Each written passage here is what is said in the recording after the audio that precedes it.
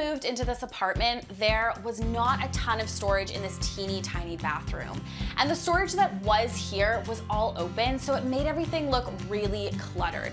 So I was so excited when I found this really slim profile wall cabinet. It's four inches.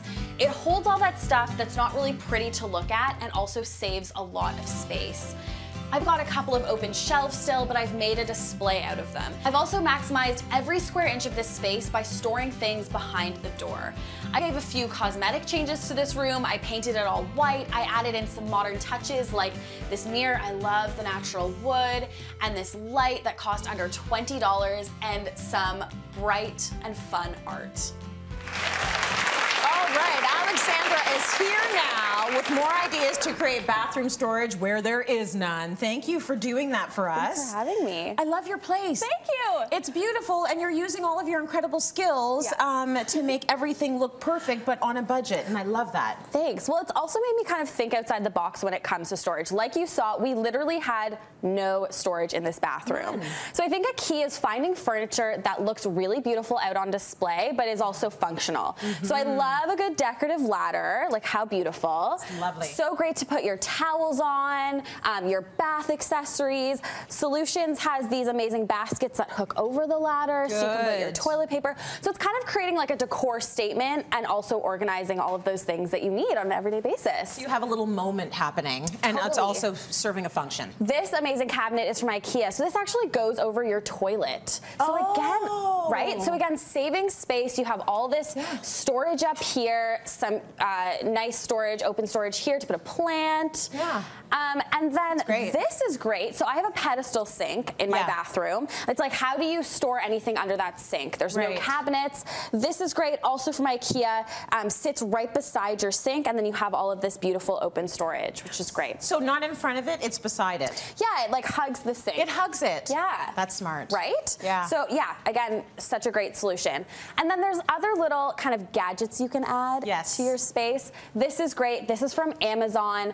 Um, this sticks onto your wall, so if you don't have counter space, Yes. you have um, a little pedestal to put your your the things that charge. So like electric toothbrushes, a razor, and then obviously it goes right over the outlet. That is that is such a good idea. Right. And then even your cleaning products. Right? So inside of your cabinet door. Yes. Great to save space so you can actually use the cabinet to hold, you know, toilet paper, towels, all that stuff. Right. Okay, Yeah. lovely. And then here, um, this is another alternative to a vanity. So if you don't have a vanity, just use the utility cart. This Mm-hmm. is meant for the kitchen. Um, also doubles as a really great open storage solution for your bathroom. Excellent. And then it's finding pieces that, again, look decorative but are functional. So great first aid kit. Yep, all your band-aids and all that stuff in there. And it looks beautiful on display, or you can DIY it. So I just used electrical tape to do little oh, crosses. Oh, cute. Right? That's great.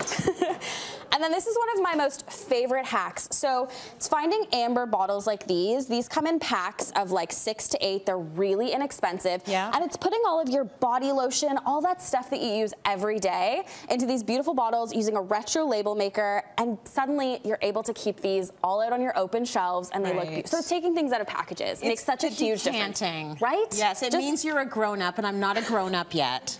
One day I will be. One day, Tracy, you will. Be. I will grow up because it looks so beautiful. It really does, and it's such a simple, budget-friendly solution. It is. Also, these are really great. These are very renter friendly. They're over the door hooks. Again, Oh, nice. right, just like you, you're adding more storage to the back of your door. Yeah. Um, and it's really about like finding kind of every nook and cranny that you can make into a storage solution. What I love about these is like the, the beautiful metallics that it's I out know. in. So they've always existed, but never this pretty. Right? Right? They're So really beautiful. lovely. You've got this little makeup organizer as well, which is which is nice. You can find these um, with magnetics with magnetic backs. So if Yeah. you have a metal cabinet, again, it's like putting it inside the cabinet, using that door space, putting all your everyday makeup. That's right. Yeah. There are so many different ways that you can add storage to your space without actually renovating or bringing in any built-ins or any, you know, new solid pieces of furniture. Yes. So these are great. I want to mention that that awesome ladder, because people want to know, is from V to V. Yes. Yeah, very nice, easy you. solutions as always, and just so perfectly done, Alexandra. Sandra.